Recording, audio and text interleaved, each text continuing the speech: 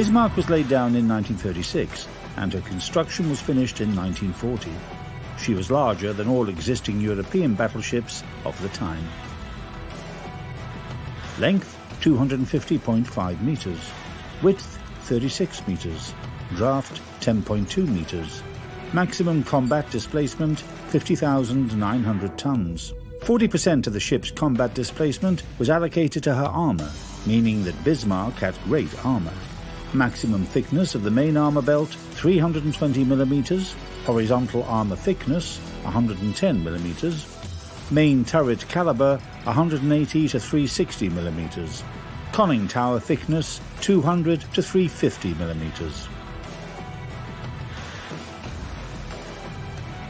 The primary weapon of the battleship, her main caliber, was four twin turret mounts.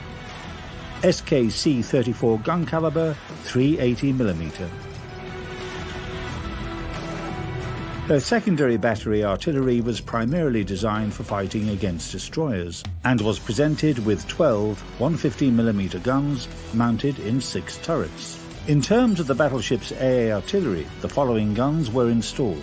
16 105mm guns in twin mounts, 16 37mm twin AA guns, 12 20mm automatic AA guns.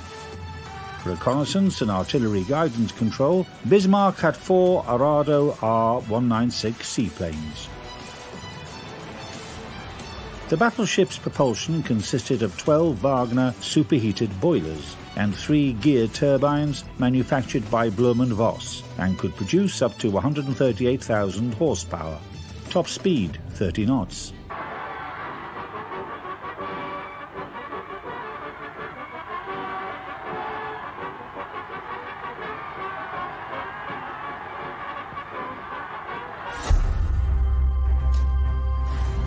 A grand ceremony marking the occasion of battleship Bismarck entering service was held on August 24, 1940. The same night, the ship had to repel a British air raid on the shipyard in. Meanwhile, Kriegsmarine Command had developed a detailed plan of operations for their surface ships. Their strategic task was to put pressure on Allied communications in the Atlantic Ocean. This would force the Allies to redeploy British battleships to the Atlantic from the Mediterranean Sea, so as to protect the convoys under threat. This would shift the balance of power.